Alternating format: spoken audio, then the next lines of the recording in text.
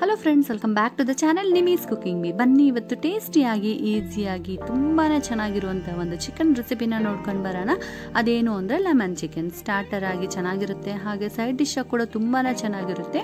ಹಾಗಾದರೆ ಬನ್ನಿ ಇದು ಹೇಗೆ ಮಾಡ್ಕೋಬೇಕು, ಇದಕ್ಕೆ ಏನೇನೆಲ್ಲ ಬೇಕು ಅಂತ ನೋಡ್ಕೊಂಡು ಬರೋಣ. ಅದಕ್ಕಿಂತ ಮುಂಚೆ ನೀವಿನ ಚಾನಲ್ನ ಸಬ್ಸ್ಕ್ರೈಬ್ ಮಾಡಿಲ್ಲ ಅಂದರೆ ಪ್ಲೀಸ್ ಸಬ್ಸ್ಕ್ರೈಬ್ ಮಾಡಿ. ಹಾಗೆ ಪಕ್ಕದಲ್ಲಿ ಬರುವಂಥ ಬೆಲ್ಲೈಕನ್ನ ಕ್ಲಿಕ್ ಮಾಡೋದು ಮಾತ್ರ ಮರಿಬೇಡಿ.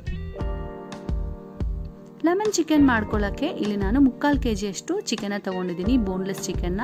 ಉಪ್ಪು ನೀರಲ್ಲಿ ಚೆನ್ನಾಗಿ ಮೂರರಿಂದ ನಾಲ್ಕು ಸರಿ ವಾಶ್ ಮಾಡಿ ಸ್ವಲ್ಪ ಸೋರಿಸಿ ಸೈಡ್ಗೆ ಇಟ್ಕೊಂಡಿದ್ದೀನಿ. ಇದಕ್ಕೆ ಎರಡು ಟೇಬಲ್ ಸ್ಪೂನ್ ಆಗೋಷ್ಟು soya sauce one tablespoon ಆಗೋಷ್ಟು ಪೆಪ್ಪರ್ ಪುಡಿನ ಹಾಕೊತಿದ್ದೀನಿ ಹಾಗೆ ಒಂದು ಮೊಟ್ಟೆನ ಹಾಕೊತಿದ್ದೀನಿ ಸೊ ಹಾಗೆ ಇದಕ್ಕೆ ಅರ್ಧ ಚಕ್ಕೆಯಷ್ಟು ನಿಂಬೆಹಣ್ಣು ರಸನ ಹಾಕೊತಿದ್ದೀನಿ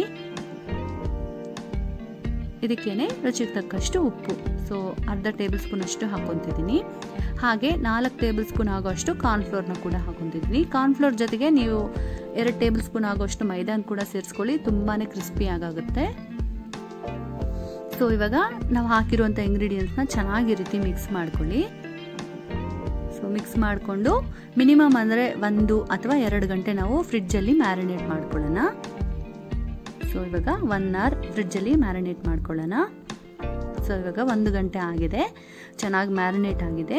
ಸೊ ಇವಾಗ ಇದನ್ನು ಡೀಪ್ ಫ್ರೈ ಮಾಡ್ಕೋಬೇಕು. ಡೀಪ್ ಫ್ರೈ ಮಾಡ್ಕೊಳ್ಳೋಕ್ಕೆ ಇಲ್ಲಿ ನಾನು ಎಣ್ಣೆನ ಹಾಕೊತಿದ್ದೀನಿ. ಎಣ್ಣೆ ಕಾದ್ಮೇಲೆ ಒಂದು ಒಂದು ಪೀಸಸ್ನ ಈ ರೀತಿ ಹಾಕ್ಕೊಂಡು ಫ್ರೈ ಮಾಡ್ಕೊಳ್ಳೋಣ. ಸೊ ಮೀಡಿಯಂ ಫ್ಲೇಮಲ್ಲಿ ಇಟ್ಕೊಂಡೆ ಫ್ರೈ ಮಾಡ್ಕೊಳ್ಳಿ. ಚೆನ್ನಾಗಿ ಕುಕ್ ಆಗುತ್ತೆ ಚಿಕನ್ ಒಳಗಡೆಯಿಂದನೂ. ಸೊ ಒಂದು ಐದು ನಿಮಿಷ ಆದಮೇಲೆ ಕಲರ್ ಈ ರೀತಿ ಆಗಿದೆ. ಇನ್ನೂ ಸ್ವಲ್ಪ ಬೇಯಬೇಕು. ಇನ್ನೊಂದು ಎರಡು ನಿಮಿಷ ಆದಮೇಲೆ ನೋಡೋಣ ಪೀಸಸ್ ಹೇಗಾಗಿದೆ ಅಂತ ನೋಡ್ತಿದ್ರಲ್ಲ? ಒಂದೊಂದು ಎರಡು ನಿಮಿಷ, ಮೂರು ನಿಮಿಷ ಆದಮೇಲೆ ಒಟ್ಟಿನಲ್ಲಿ ಆರರಿಂದ ಎಂಟು ನಿಮಿಷ ತಗೊಳುತ್ತೆ. ಇದು ಕರೆಕ್ಟಾಗಿ ಬೇಯೋಕ್ಕೆ. ನೋಡ್ತಿದ್ರಲ್ಲ, ಈ ರೀತಿ ಕಲರ್ ಬರಬೇಕು. ಇವಾಗ ಇದನ್ನು ಟಿಶ್ಯೂ ಪೇಪರ್ಗೆ ತಗೊಳ್ಳೋಣ. ಇಲ್ಲಿ ನೋಡ್ತಿದ್ರಲ್ಲ ಪೀಸ್ ಈ ರೀತಿ ತುಂಬ ಸಾಫ್ಟಾಗಿ ಬರಬೇಕು. ನೋಡ್ತಿದ್ದೀರಲ್ಲ, ಈ ರೀತಿ. ಸೊ ಅದಕ್ಕೆ ಮ್ಯಾರಿನೇಟ್ ಮಾಡೋದ್ರಿಂದ ಈ ರೀತಿ ಪೀಸ್ ತುಂಬ ಸಾಫ್ಟ್ ಆಗಿರುತ್ತೆ. ಇವಾಗ ಲೆಮನ್ ಚಿಕನ್ ಬೇಕಾಗಿರೋ ಸಾಸ್ ಮಾಡ್ಕೊಳ್ಳೋಣ. ಅದಕ್ಕೆ ಅರ್ಧ ಕಪ್ಪಷ್ಟು ನಿಂಬೆಹಣ್ಣು ರಸ, ಎರಡು ಟೇಬಲ್ ಸ್ಪೂನ್ ಆಗೋಷ್ಟು ಜೇನುತುಪ್ಪನ ಹಾಕ್ಕೊಂಡು ಚೆನ್ನಾಗಿ ರೀತಿ ಮಿಕ್ಸ್ ಮಾಡ್ಕೊಳ್ಳಿ. ಹಾಗೆ ಒಂದು ದೊಡ್ಡ ಕಪ್ಪಷ್ಟು ನೀರು, ಒಂದೂವರೆ ಟೇಬಲ್ ಸ್ಪೂನ್ ಅಷ್ಟು ಕಾರ್ನ್ಫ್ಲೋರ್ನ ಹಾಕ್ಕೊಂಡು ಚೆನ್ನಾಗಿ ಮಿಕ್ಸ್ ಮಾಡಿ ಇದನ್ನು ಸೈಡ್ಗೆ ಇಟ್ಕೊಳ್ಳೋಣ. ಫ್ಲೇವರ್ಗೋಸ್ಕರ ಈ ರೀತಿ ನಿಂಬೆಹಣ್ಣನ್ನ ತುರಿದು ಸ್ವಲ್ಪ ಹಾಕ್ಕೊಂಡ್ರೆ ಫ್ಲೇವರ್ ತುಂಬ ಚೆನ್ನಾಗಿರುತ್ತೆ. ಸೊ ಇವಾಗ ಸೈಡ್ಗೆ ಇಟ್ಕೊಳ್ಳೋಣ. ಇವಾಗ ಒಂದು ಬಾಣಲಿನ ತೊಗೊಂಡಿದ್ದೀನಿ ಆ ಬಾಣಲಿಗೆ ಎರಡು ಟೇಬಲ್ ಸ್ಪೂನ್ ಆಗೋಷ್ಟು ಎಣ್ಣೆನ ಹಾಕ್ಕೊಂಡಿದ್ದೀನಿ ಇದು ಸ್ವಲ್ಪ ಕಾದಿದೆ. ಇವಾಗ ಒಂದೆರಡು ಟೇಬಲ್ ಸ್ಪೂನ್ ಆಗೋಷ್ಟು ಶುಂಠಿನ ಚಿಕ್ಕ ಚಿಕ್ಕ ಪೀಸ್ ಆಗಿ ಈ ರೀತಿ ಕಟ್ ಮಾಡಿ ಹಾಕೊತಿದ್ದೀನಿ ಸೊ ಇದನ್ನು ಒಂದು ನಿಮಿಷ ಫ್ರೈ ಮಾಡ್ಕೊಳ್ಳಿ. ಸೊ ಇದು ಫ್ರೈ ಆಗಿದೆ. ಈ ಟೈಮಲ್ಲಿ ಹಸಿಮೆಣ್ಸಿನ್ಕಾಯಿ ಹಾಕೊತಿದ್ದೀನಿ ಹಸಿಮೆಣ್ಸಿನ್ಕಾಯಿ ನಿಮ್ಮ ಖಾರ ಎಷ್ಟು ಬೇಕೋ ಅಷ್ಟು ಹಾಕೊಳ್ಳಿ. ನಾನಿಲ್ಲಿ ಒಂದು ಐದು ಹಸಿಮೆಣ್ಸಿನ್ಕಾಯಿನ ಕಟ್ ಮಾಡಿ ಹಾಕೊಂಡಿದ್ದೀನಿ ಇದು ತುಂಬಾ ಖಾರ ಇದೆ. ಅದಕ್ಕೆ ಅದಕ್ಕೇ ಕಡಿಮೆ ಹಾಕೊಂಡಿದ್ದೀನಿ ಸೊ ನೀವು ಖಾರ ಜಾಸ್ತಿ ಬೇಕು ಅಂದರೆ ಇನ್ನೂ ಜಾಸ್ತಿ ಕೂಡ ಹಾಕೋಬೋದು. ಇವಾಗ ನಾವು ರೆಡಿ ಮಾಡಿ ಇಟ್ಕೊಂಡಿದ್ದೀವಲ್ಲ ಆ ಸಾಸ್ನ ಹಾಕಿ ಚೆನ್ನಾಗಿ ಮಿಕ್ಸ್ ಮಾಡ್ತಾ ಇರಬೇಕು.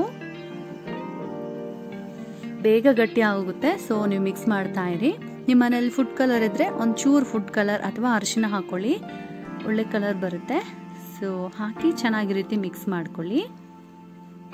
ಸೊ ನೋಡ್ತಿದ್ದೀರಲ್ಲ, ತುಂಬ ಬೇಗನೆ ಗಟ್ಟಿ ಆಗುತ್ತೆ. ಸೊ ನಿಮಗೆ ತುಂಬ ಜ್ಯೂಸಿ ಆಗಿರಬೇಕು ಅಂದರೆ ಒಂದೂವರೆ ಕಪ್ಪಷ್ಟು ನೀರು ಹಾಕ್ಕೊಳ್ಳಿ ಚಿಕನ್ ಪೀಸಸ್ ತುಂಬಾ ಸಾಫ್ಟ್ ಆಗಿರುತ್ತೆ. ಹಾಗೆ ಇಲ್ಲಿ ರುಚಿಗೆ ತಕ್ಕಷ್ಟು ಉಪ್ಪು ಹಾಕೊತಿದ್ದೀನಿ ಹಾಫ್ ಟೀ ಸ್ಪೂನ್ ಅಷ್ಟು ಹಾಕೊತಿದ್ದೀನಿ. ಸೊ, ನಾವು ಚಿಕನ್ಗೂ ಕೂಡ ಹಾಕಿದ್ದೀವಲ್ಲ ಸ್ವಲ್ಪ ಉಪ್ಪು ನೋಡ್ಕೊಂಡು ಹಾಕ್ಕೊಳ್ಳಿ ಸೊ ಇವಾಗ ನಾವು ಫ್ರೈ ಮಾಡಿ ಇಟ್ಕೊಂಡಿದ್ದೀವಲ್ಲ ಆ ಚಿಕನ್ ಹಾಕ್ಕೊಂಡು ಚೆನ್ನಾಗಿ ಮಿಕ್ಸ್ ಮಾಡ್ಕೊಳ್ಳಿ. ಸೊ ಆ ಸಾಸ್ ಎಲ್ಲ ಕೂಡ ಚಿಕನ್ಗೆ ಚೆನ್ನಾಗಿ ಹಿಡಿಬೇಕು, ಆ ರೀತಿ ನೀವು ಮಿಕ್ಸ್ ಮಾಡ್ಕೊಳ್ಳಿ. ಲೋ ಫ್ಲೇಮಲ್ಲಿ ಇಟ್ಕೊಂಡೇ ಮಿಕ್ಸ್ ಮಾಡ್ಕೊಳ್ಳಿ.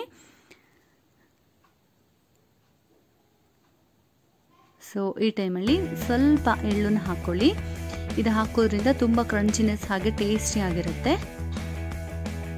ಸೊ ಮತ್ತೊಂದು ಸರಿ ಈ ರೀತಿ ಮಿಕ್ಸ್ ಮಾಡ್ಕೊಳ್ಳಿ.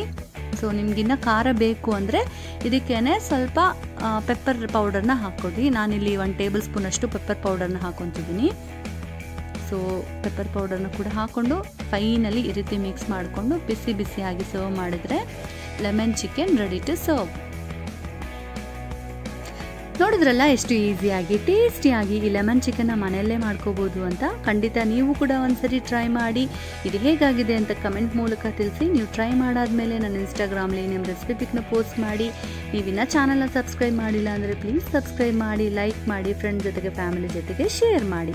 Thank you so much for watching bye bye